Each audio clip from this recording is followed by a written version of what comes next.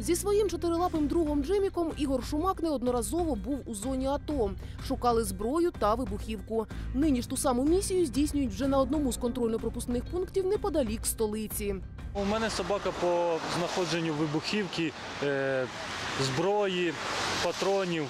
Ну і ми займаємося цим, шукаємо. Вдруг хтось щось везе. Поки що, слава Богу, нічого такого не було. Причина таких прискіпливих перевірок резонансні злочини, в яких буквально захлинається країна.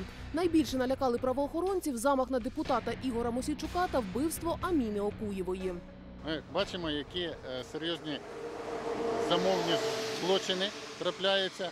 Ми розуміємо, скільки е, на руках у е, порушників правопорядку може бути зброї, небезпечних вибухових пристроїв. Тому було прийнято рішення головою національної поліції про введення е, такого е, посиленого патрулювання е, саме Києва і Київської області. Зупинити можуть будь-кого, навіть пішохода.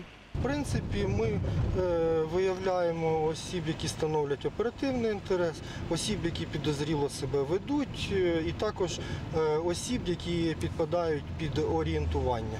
Замість звичних 75 екіпажів на область до цілодобового чергування тепер залучаються більше ста. Водії поки що ставляться до таких перевірок з розумінням.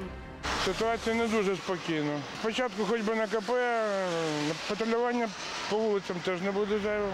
Посилений режим служби попередньо запланований до 10 листопада. Але якщо правоохоронці вважатимуть, що українці все ще в небезпеці, то такі заходи можуть і подовжити.